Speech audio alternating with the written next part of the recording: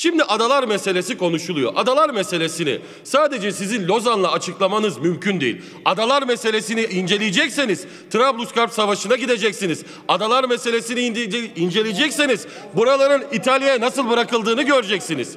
Ama ben şunu söylemek istiyorum. Şunu söylemek istiyorum. Hiç alakası yok Lozan'la da. Bu konunun özü şudur. Bu konu bugün Yunanistan'ın bayrak çektiği Türkiye'nin sınırları içerisinde kalan ada mevzunu örtbas etmek amacıyla sizin gündeme getirdiğiniz tamamen gerçekleri çarpıtmak adına bir çalışmadır. Fakat ben şunu merak ediyorum. Bakın Sayın Milletvekili, Gümülcine doğumlusunuz, Batı Trakya doğumlusunuz.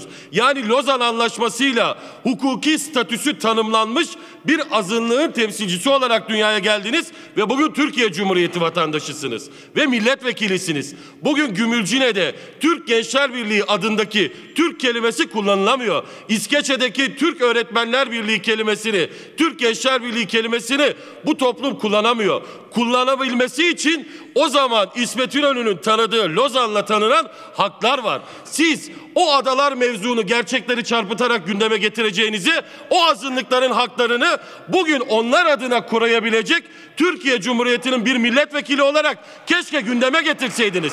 Keşke onlardan bahsetseydiniz de biz de sizi alkışlayabilseydik. Ben teşekkür ediyor, saygılar sunuyorum. Teşekkür ediyorum Sayın Köprülü.